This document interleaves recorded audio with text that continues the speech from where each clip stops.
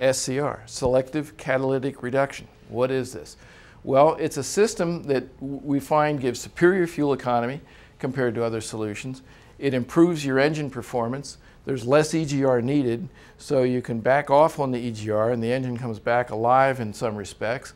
Uh, it creates less heat rejection. It gives you greater power density. We're going to have a 500 horsepower rating for EPA 10, as you might know. It'll be uh, rated with 1,750 pounds-feet of torque. And you get higher efficiency, and that's all that really amounts is fuel economy. Uh, that's what we're trying to do. Very little maintenance. It's a high volume system in other markets. This is important because while we were the first with cooled EGR, we were the first with an actively regenerated DPF, we won't be the first market to use selective catalytic reduction. It's also used in a number of other industries today, like in some uh, uh, ships and freighters and just a lot of different things. The, the uh, technique for reducing NOx has been well known. Here's the reaction. You take a ammonia or a compound that turns to ammonia, which is NH3, and you combine that with the NO, the NOx that's in the engine, and it creates N2 and H2O, nitrogen and water vapor. It turns the NOx into nitrogen, which is 80% of the air that we breathe. It, it, and, and it eliminates all the pollution, bang, there's nothing left over. It's an elegant reaction, it works pretty good. Yes, it does add some complication, and we'll go over them. There's a, a DEF, a diesel exhaust fluid tank, uh, that'll be on the driver's side, and that's heated because uh, we want to keep it from freezing. We'll have a couple different sizes, as you might know. Uh, there's a pump and there's a filter. Uh, there, uh, the lines that go to the injector have to be heated. There is an injector mounted to today's uh, DPF, and then there's an SCR catalyst that you'll find either mounted uh, behind today's diesel particulate filter or perhaps behind the cab. This is the uh, module for the DEF system and it's pretty rugged as you can see. It's air cooled. It'll, it'll mount uh, to the DEF tank in a pretty controlled space and that way it'll be uh, stable and have a long life and get good fuel economy. This is the pump that pumps the DEF to the injector. It's based on the same pumps that we use in Europe, although this is 12 volts and in Europe it's 24 volts. But the functionality, the design is the same and with those economies of scale we get a long life and good reliability and good fuel mileage. And then this is the injector. Small for its size, but it does a lot. What it does is it pumps in, uh, uh, think about a water pistol, about that much uh, urea into the engine. Uh, just a tiny squirt now and then to keep the, the uh, solution soaked inside. And that way you get maximum conversion and best NOx. Here you see uh, one of our trucks that showing the diesel particulate filter, the DEF injectors here, and this is our SCR catalyst itself. I want to share with you that the, uh, the tube that the urea decomposes into ammonia inside goes from here the whole way through this catalyst to here before it does anything. So the reason for this design is to give us quite a long decomposition tube, which is key to our design because we get a very good conversion efficiency of the uh, diesel exhaust fluid into ammonia. It has to all be converted and we make sure that it is through this process. Um, it retains the serviceability, which I know some of you are responsible for, of our diesel particulate filter, which means you can take it apart uh, using a really complicated tool. It's a floor jack. Uh, when the ash needs to be cleaned out of that, which is occasionally, but let's say every 250,000 miles. Um, and by separating these two units from each other, uh, if there's collision damage, for example, you don't have to replace the entire thing at once, just the injured part. So there's a lot of advantages to this design. Close-up of, of the features, but I think many of you may have already seen that already. The diesel exhaust fluid tank is on the driver's side. It'll always have this blue cap. Um, there's a 19 millimeter throat, and that's to use a 19 millimeter nozzle, so it makes makes it impossible to put a diesel fuel nozzle into the diesel exhaust fluid tank. Um, as far as an indicator, we're using a real gauge.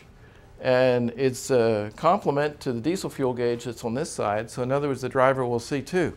There are some designs that we've seen that are using an LED in the, in the fuel gauge that has four segments, so that I guess is uh, full and two thirds and one third and empty. And rather than seeing just something jump in those chunks, uh, I've driven this truck and this, this gauge will move extremely slowly, obviously because it takes a while to um, consume that amount of diesel exhaust fluid. And the driver will always have an, a very accurate feeling of exactly how much is in there and how far that he can go.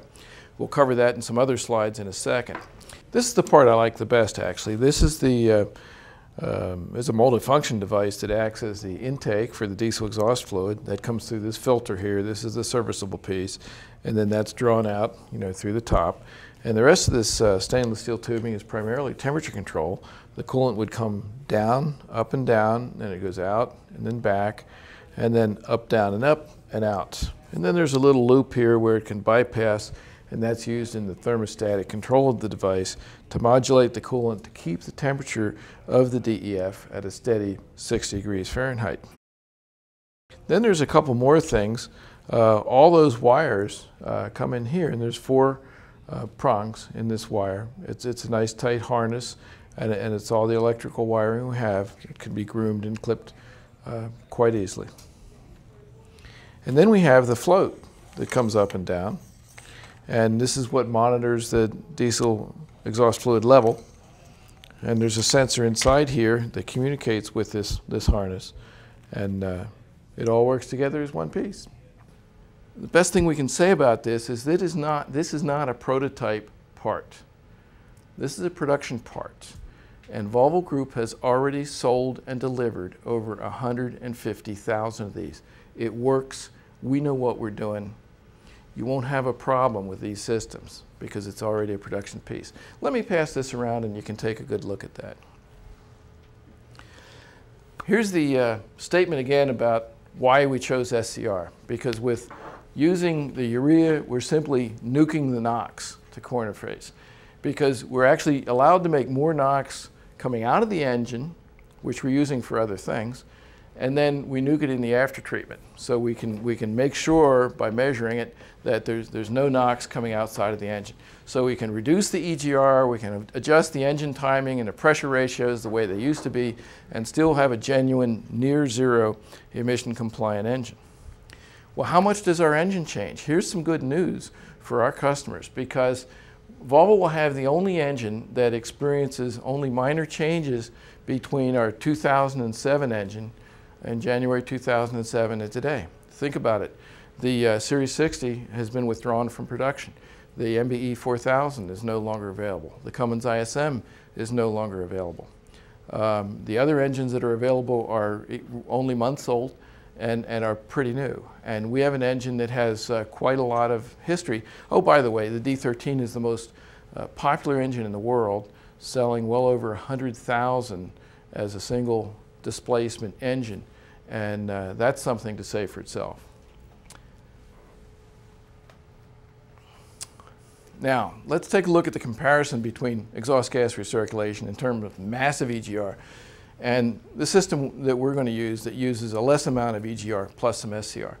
Power density, with power density uh, with MEGR it's going to drop because that's a function of thermodynamics. There's just not that much air in there so you can't get as much power uh, without exceeding your peak cylinder pressure limits.